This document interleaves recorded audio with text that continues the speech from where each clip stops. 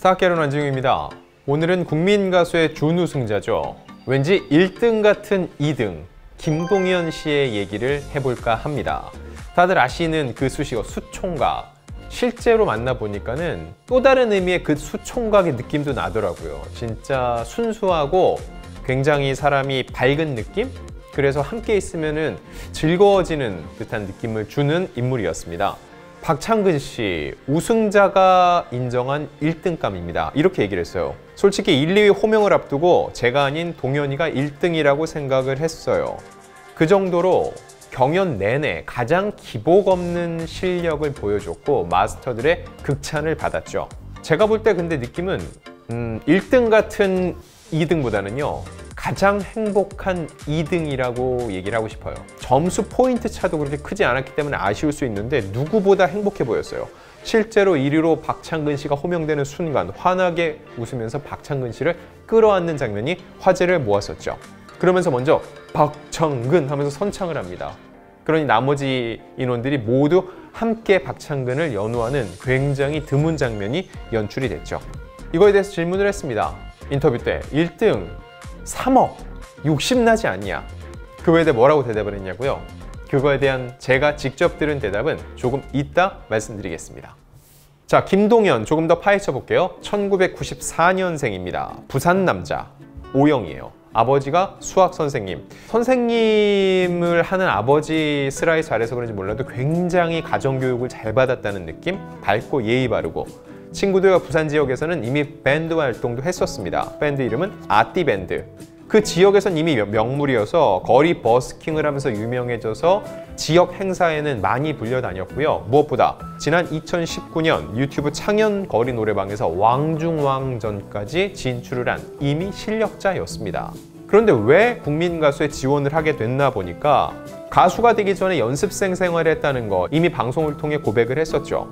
그 다음에 사실 본인의 꿈을 접고 아르바이트를 하면서 생활해 왔는데 스스로에 대한 믿음을 접지 않았던 거죠. 김동현 씨는 이렇게 얘기를 합니다.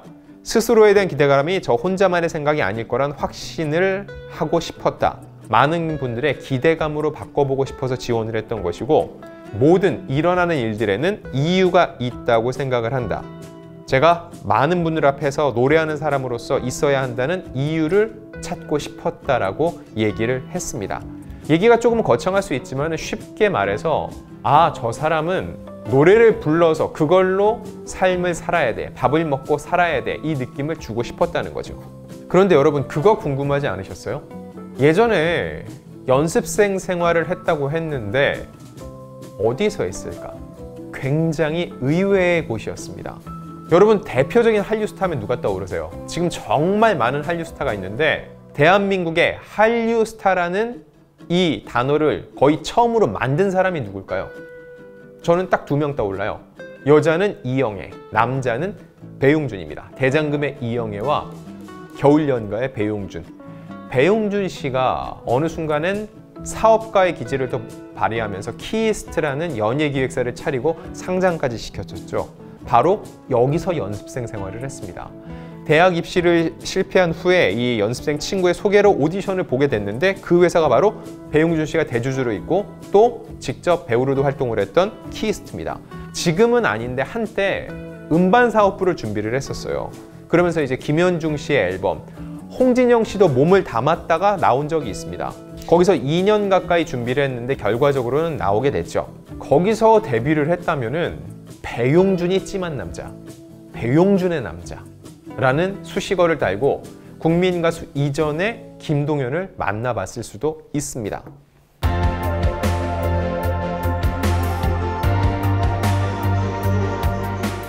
자, 그럼 본격적으로 김동현의 국민 가수 도전기를 살펴보면요. 이 내용은 여러분들이 많이 알고 있어서 빨리빨리 넘어갈게요. 첫 방송에서 부활의 비밀을 택했습니다. 올 하트 받았고요. 매끄러운 미성, 기교, 그리고 무엇보다 어깨를 축 늘어뜨리고 힘을 뺀 듯하지만 목소리는 굉장히 단단한 게 인상적이었죠. 본선 1차전에서는 손진욱, 이솔로몬, 조현호와 상경부로 아이유의 Love poem을 불러 all heart 전원 합격. 지금 보니 대단한 팀이에요. 손진욱 7위, 이솔로몬 3위, 조현호 top10.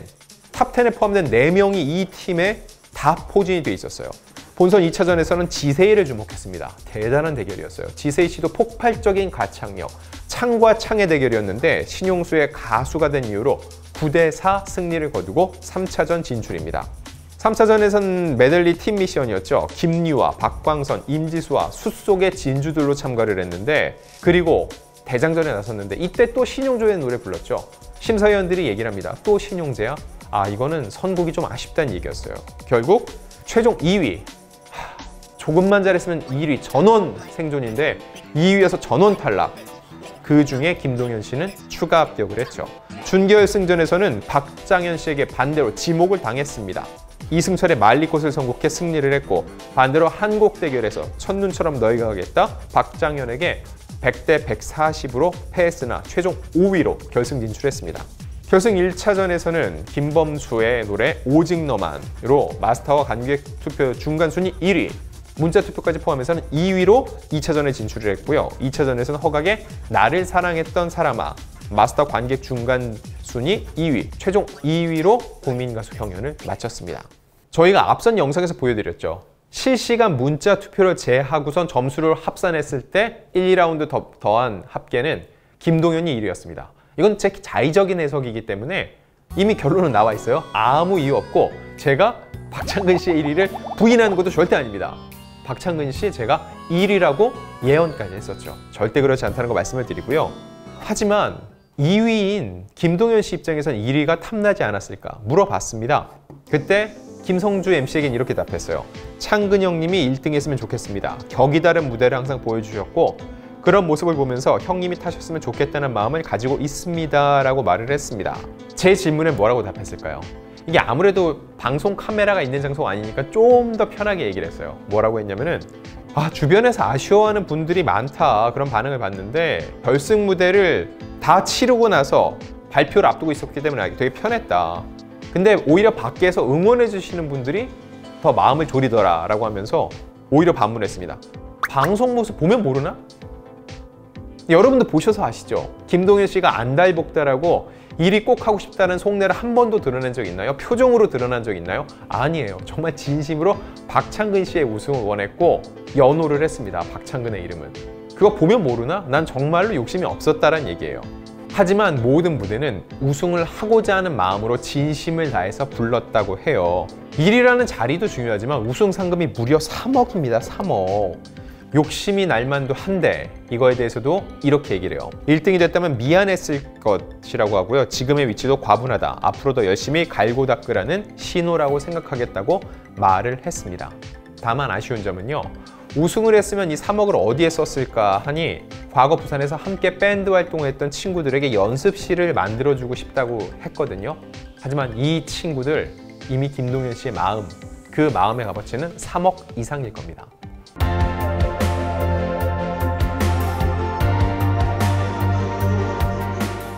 또 하나 궁금증.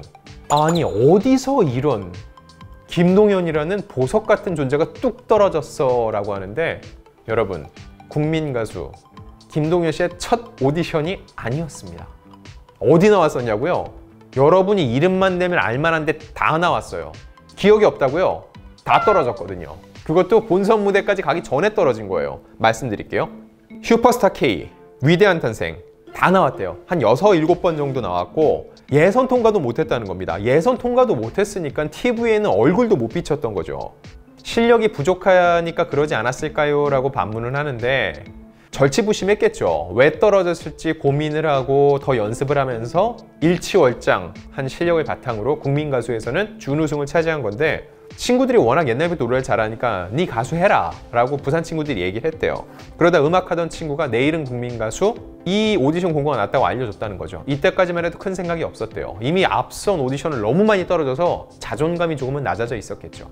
그런데 이 자존감에 불을 지펴준 단 한 명 바로 누구였을까요?